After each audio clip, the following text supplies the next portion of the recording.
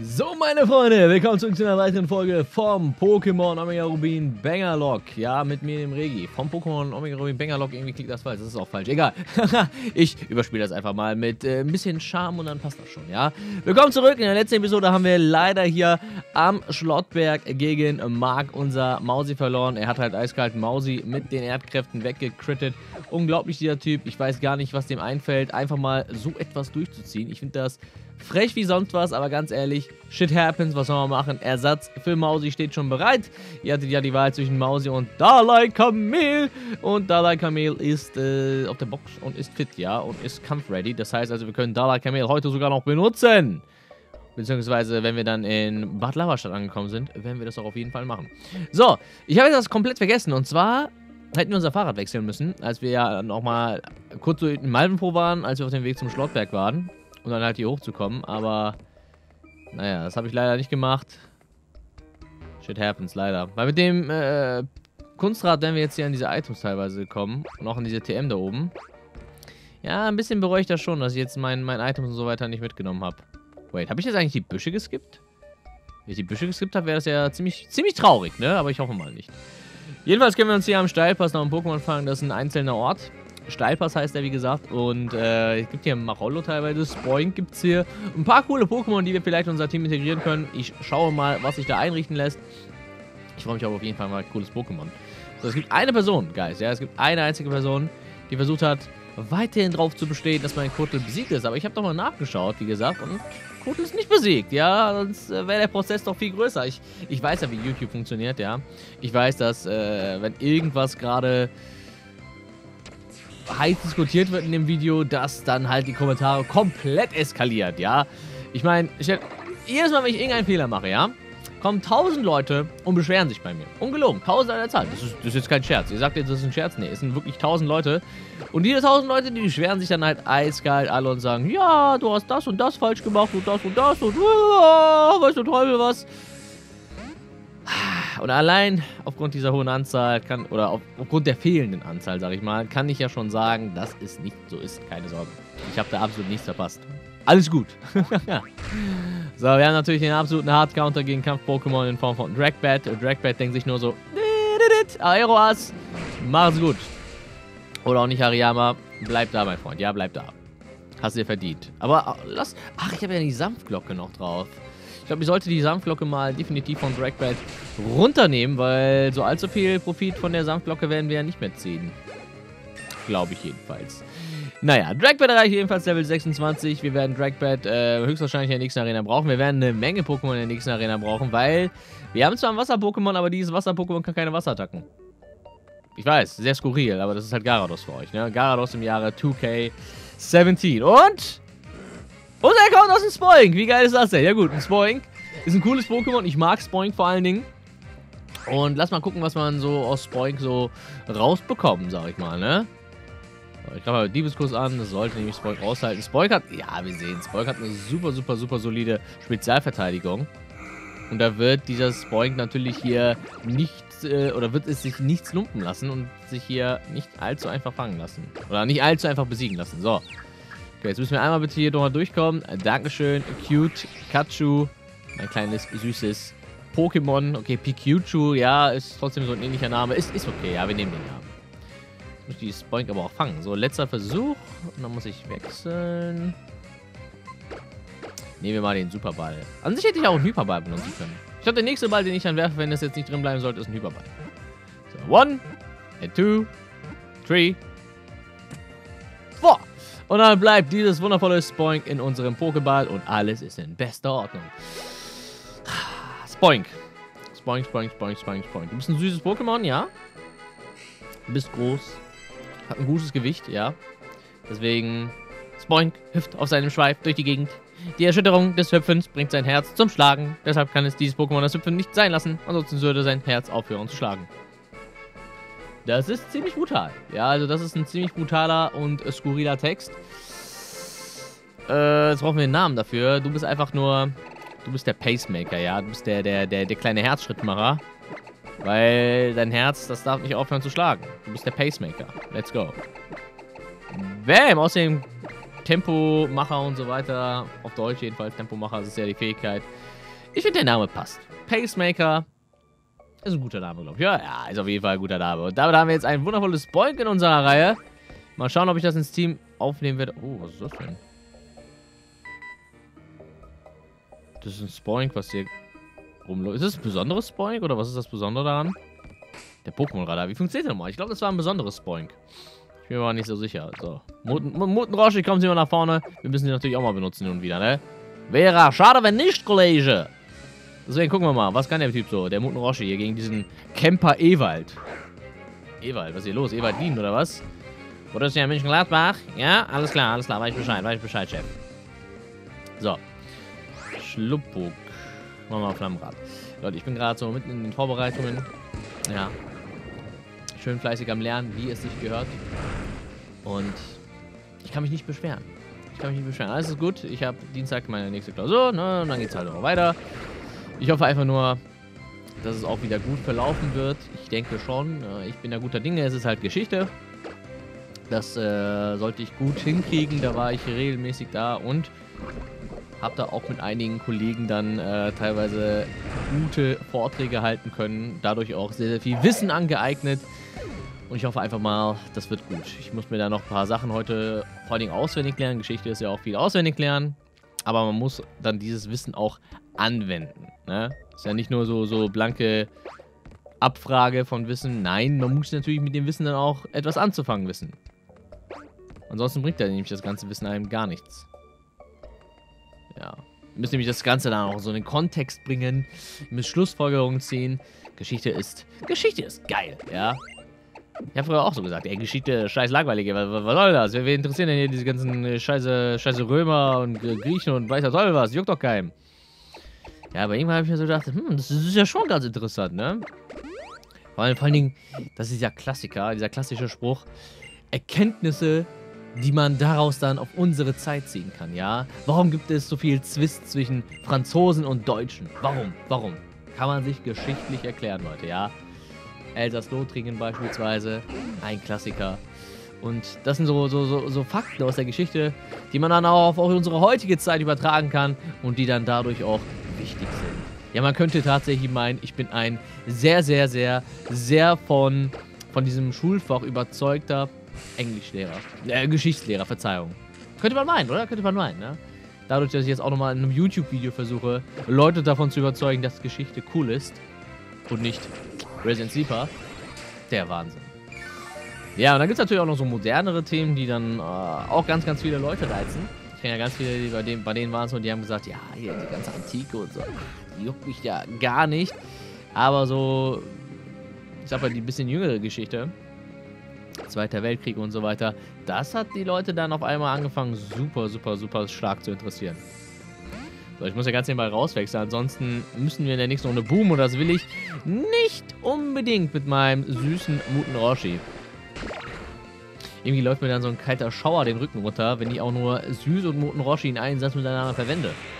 Ja, ich habe immer diesen komischen, perversen, alten Opa aus Dragon Ball im Kopf, der mir dann irgendwas von Puff Puff erzählen will.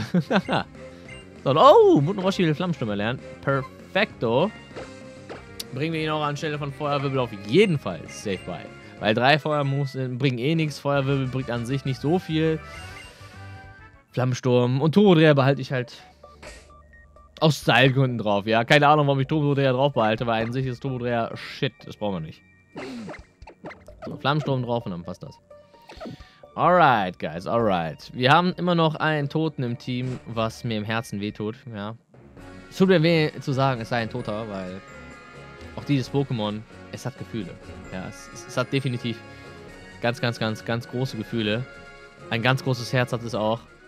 Und zwar ist es Mausi. Aber wir müssen heute Mausi leider, leider beerdigen. Und understand you mein Glaber? Ja. Okay, coole Sache. Warte mal, was, was will ich eindrücke? Oh, that does me in the way. Here, nimm vielleicht helpte dies hier dabei, meine Karate Way of Life zu understand, the fool. Das ist auch selten der Fall. Dass man einen NPC mit Nein antwortet und man dann, dann, was, was, was ist denn heute los mit der Junge? Kannst du, kannst du nicht sprechen oder was? Und man dann erst ein Item bekommt. Normalerweise ist es ja immer anders, dass man auf Ja drücken muss und dann bekommt man was. Meine ich jedenfalls. Hier ist es nicht so. Interesting auf jeden Fall. So, Supermarkt. Habe ich hier eigentlich irgendwas, was ich mal wieder kaufen müsste? Tränke so für den kleinen Schaden zwischendurch. Schaden glaube ich nicht. Übertrank habe ich. Leber, bra Leber brauche ich nicht. Äh, Gegengift können wir ein paar holen. Paraheiler sind auch nicht verkehrt. Aufwecker? Ja, warum nicht? Feuer- und Brandheiler sind mir zu situationell. Die brauchen wir eigentlich nicht wirklich. Ich will mir Schutz holen, rein theoretisch. Komm, holen wir uns mal Schutz. Kann an sich nicht schaden. Wir können uns eh nur ein Pokémon pro Route fangen, dank Nuzlocke-Regeln. Deswegen Schutz. Let's do this. So, jetzt kommt aber der, der, der ganz, ganz traurige Teil, Leute. Wir müssen uns nämlich von einem Pokémon verabschieden. Wir müssen uns jetzt nämlich... Nein, kein Pokémon mitnehmen. An dieser Stelle. Leider von Mausi verabschieden.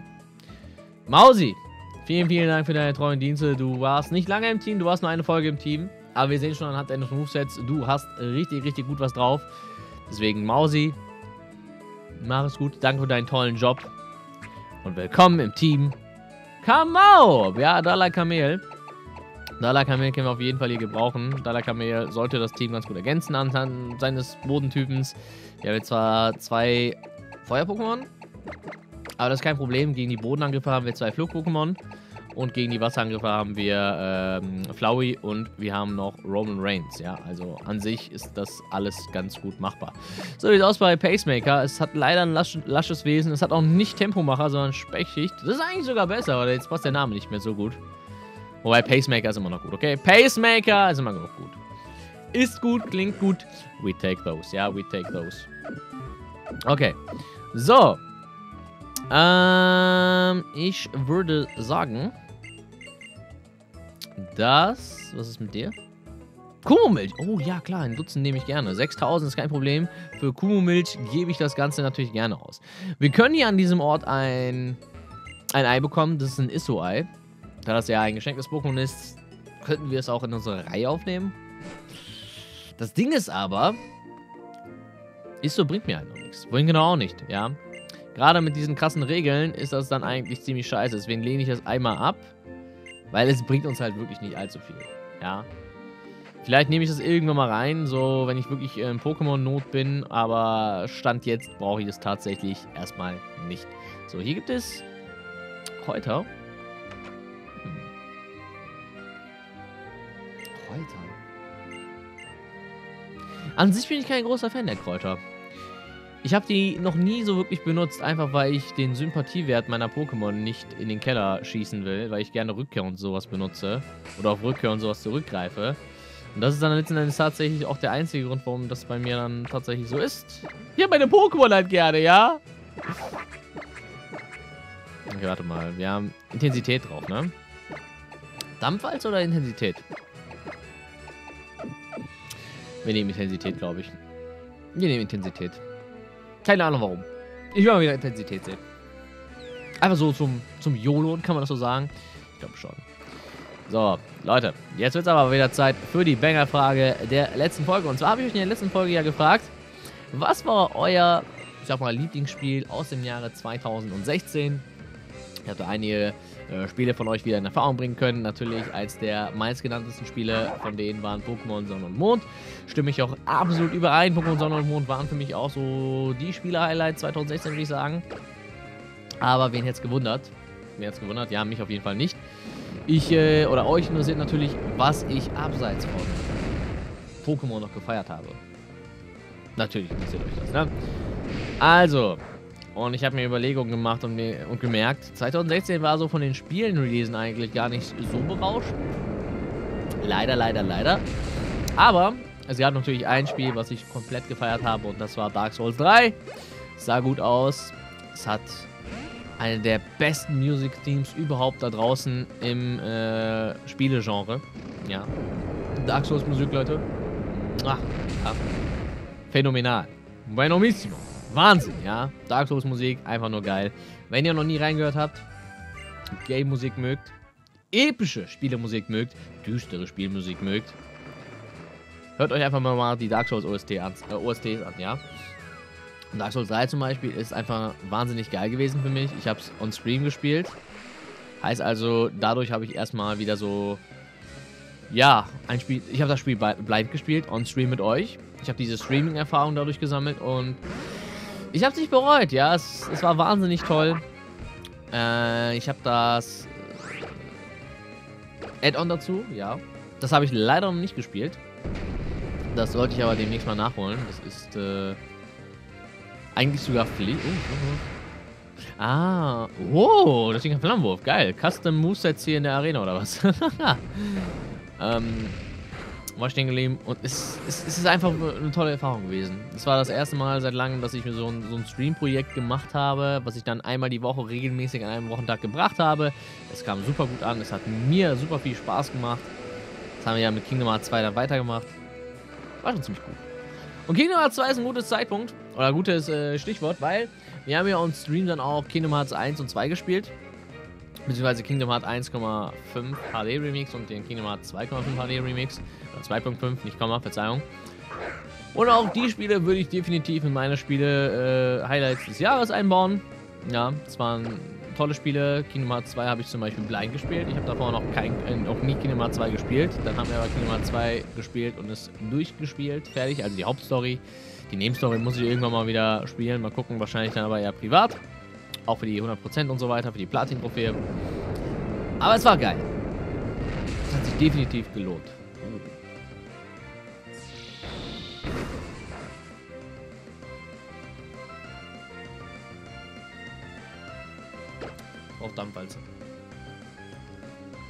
Braucht Dampfwalze.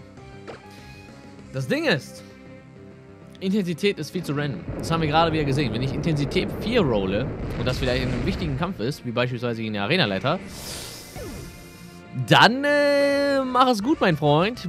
Bitte nicht hier bei uns. Das ist nicht gut. Ich äh, sollte, glaube ich, schon Dampfwalze drauf spielen. Dampfwalze ist definitiv hier von Vorteil. Wo haben wir Dampfwalze? Wir haben Sch Schwertanz, Roselia. What? Einäschern. Karados mit Einäschern. Nee, ich habe zwei Feuer-Pokémon. das das wäre, glaube ich, ein bisschen zu meme-lastig. So, ich kann aber Muten Roshi Geheimpower beibringen. Ich muss ein bisschen, ein bisschen, ein bisschen was an den TM ändern bei den Angriffen. Stelle von Todrea, das ist, glaube ich, gar nicht mal so schlecht. Und dann können wir noch Dampfwalze auf... Das war das Ziel. Ich kann noch Dampfwalze auf Muten Roshi benutzen. Hm. Seems good to me, man. Muss mir definitiv mal was einfallen lassen. Ja, aber das waren, wie gesagt, so meine Spiele-Highlights des Jahres. Sonderlich viel mehr habe ich auch nicht gespielt. Jetzt mag man sagen, was? Aber tatsächlich, ich habe also im Jahr 2016 nicht wenig gespielt. Das, das wäre gelogen. Aber so von der Vari Varietät her, ja, von der Vielfalt her, da habe ich echt äh, nicht allzu viele Spiele gespielt. Wahnsinn, oder? Ich weiß, Wahnsinn. ja, gerade so, was, was, was habe ich eigentlich sonst so gespielt? Ich habe das erste Mal überhaupt Wind Waker gespielt, auch wenn es die HD-Version war. War auch absolut geil. Als Let's Play dann halt, ne?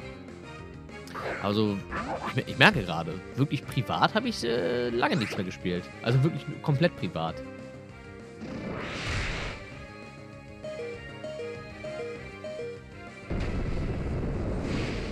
Ja, gut. Ähm, das ist krasser Schaden. Das ist krasser Schaden. Das ist krasser Schaden. Deswegen wechseln wir ja fix raus. Fällt mir ganz und gar nicht sowas. Auch jetzt zu Roman Reigns. I am not a guy. I am the guy. Resident Sleeper. Alles klar, Roman. Wissen wir Bescheid. Du bist der Typ. Danke für diese wichtige Information. Wir werden sie natürlich gleich in unser Buch für die Nachwelt eintragen. Danke dir, Roman. Und Chantal wird dadurch jetzt auch weggeklatscht. Ich weiß noch gar nicht, was ich heute als Banger-Frage reinnehme. Wieder irgendwas Pokémon-spezifisches, irgendwas Spielespezifisches. Ich weiß es gar nicht. Vielleicht irgendwas, was weder noch mit beidem zu tun hat. Ich muss mal schauen. Ich muss mal schauen, was ich da mache. Ich muss da kreativ sein. So, schon, an sich äh, müsste ich ja noch ein Spiel reinnehmen. Und zwar hier. Ein Spiel, womit ich jetzt meine Tage immer mal wieder zwischendurch verbringe. Und zwar Summoners War. Richtig, das spiele ich ja auch regelmäßig. Ist ein Mobile-Game, aber ich spiele es regelmäßig und es hat mich süchtig gemacht. Wirklich, sehr süchtig. Das ist nicht gut, Leute. The addiction is real. So, Raphael schickt einen Smogger in den Kampf. Gegen unser Dalai Kamel. Gucken wir mal, was Raphael dagegen machen kann.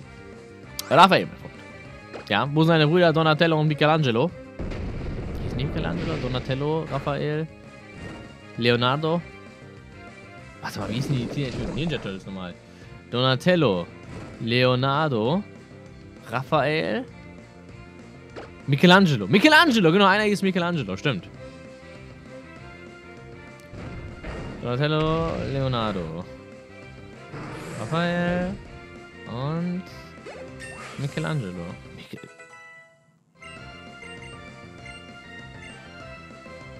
Wait, Erdkräfte! Holy shit, das sehe ich ja jetzt erst. Auf jeden Fall anstelle von Magnitude. Das heißt also Dampfwalze, so schnell du drauf kamst, so schnell bist du wieder weg. Dafür haben wir jetzt Erdkräfte drauf. Das ist ja mal geil. Okay, Erdkräfte, Erdkräfte, Erdkräfte sind richtig, richtig sick. Sicko mio. So, ich würde an sich gerne noch bis zur Arenaleiterin kommen. Das wäre so mein Wunsch, mein Ziel, mein Plan. Wenn wir in der nächsten Folge direkt mit der Arenaleiterin anfangen können. Ottbert, was geht ab? 420 Blazed, Ottbert, oh yeah.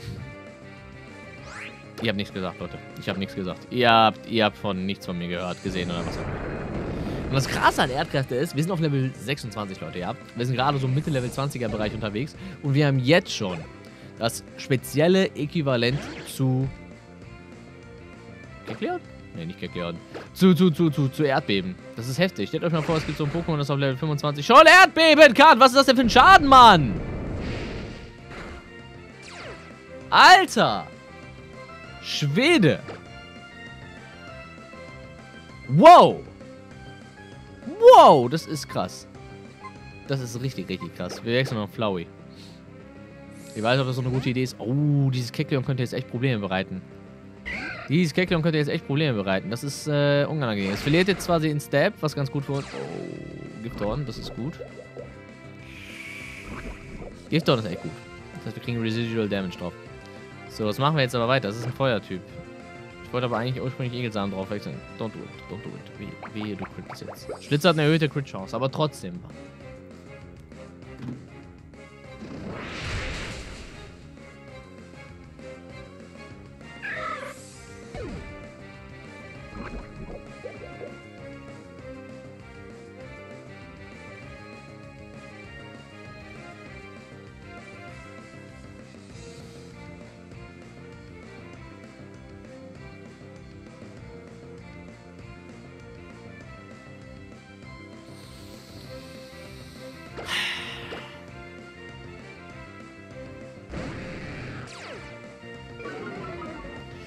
Ist es jetzt zum Running Gag geworden, dass ich in jedem Part ein Pokémon verliere?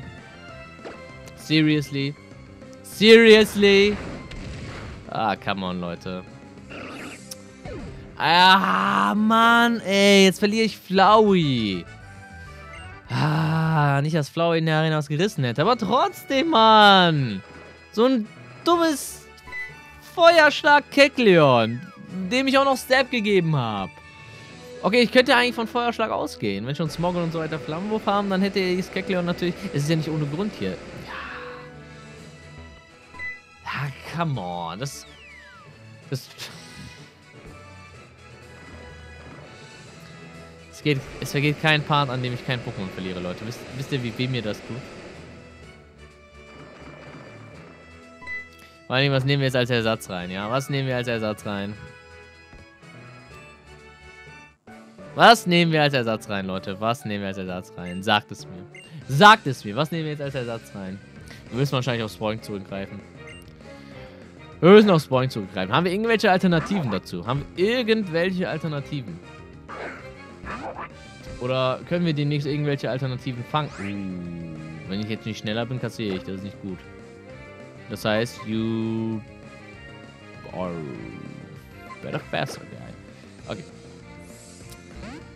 könnte mal mit Mirapla fangen oder sowas. Ne? Ach, Mirapla, ey, wie das schon klingt. Warum, was soll ich mit dem Mirapla, Junge? Was soll ich mit dem Mirablauf? Warum kannst du Hitzekoller? Wollen mich alle komplett verkacken? Und warum kannst du schon Erdkräfte? Das lernst du doch...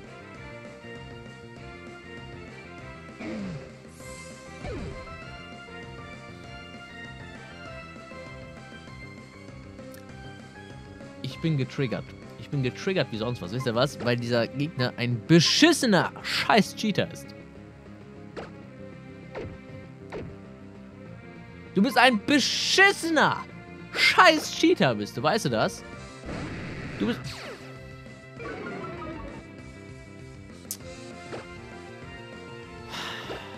Wie kann das Ding schon Erdkräfte? Wisst ihr, woran ich mich orientiert habe, ob das Ding Erdkräfte kann oder nicht? Wisst ihr, woran ich mich orientiert habe? An Minecraft-Mob. Minecraft-Mob hat Erdkräfte auf Level 26 gelernt. Ja, ihr habt's gesehen. Ihr wart gerade live dabei. Auf Level 26 kann Kamob Erdkräfte. Woher zum Teufel soll ich wissen? Wie kann ich riechen, dass ein Kamaub auf Level 25, obwohl er es auf Level 26 kann, in-game Erdkräfte kann?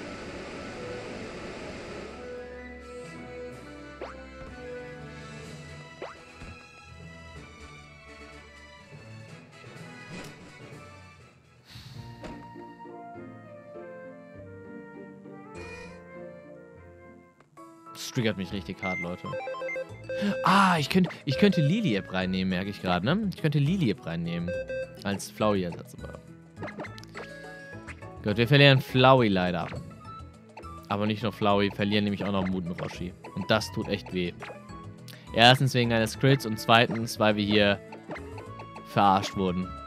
Wir wurden eiskalt von den Gegnern verarscht. Das kann nicht sein, dass ein Kamauppel wir alternativ wahrscheinlich dann Pacemaker reinnehmen. Für den Räderkampf. Speckschichts könnte uns davon Vorteil sein. Aber ansonsten müssen wir mal gucken. Na klar, der Verlust von Nuten Roshi. Typentechnisch verlieren wir dadurch nicht viel. Wir haben halt Kamaup. Dadurch auch nochmal einen Feuertypen. Aber trotzdem, es war ein cooles Pokémon, wisst ihr.